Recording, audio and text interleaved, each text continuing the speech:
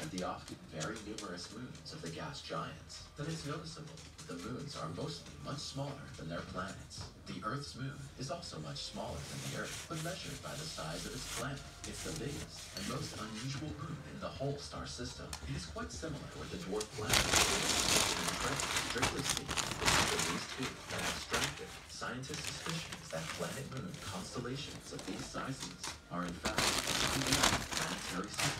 The old theory says that the moon of the Earth was formed in the early times of the planet by the collision with a gigantic object. Essentially, this blasted the moon out of the Earth's own substance, and this debris from the very young Earth, which condensed very slowly, developed into a moon. This theory is increasingly being discussed. The ESA Original seat as well? Smart 1 to the moon. Everything's original on here. Every single part. Closely.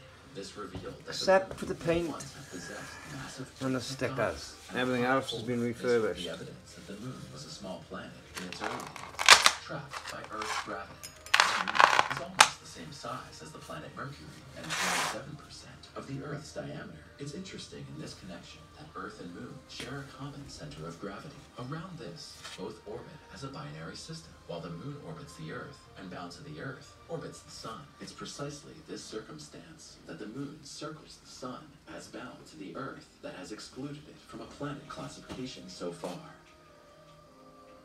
Moon dust can be deadly. That the moon is dusty was discovered very early on by the first space travelers who ever set foot on the moon at the expenses of their own bodies. Neil Armstrong and Buzz Aldrin initially waited in a soft, powdery layer. The sulfur scented dust later clung so intensely to the lunar pioneer's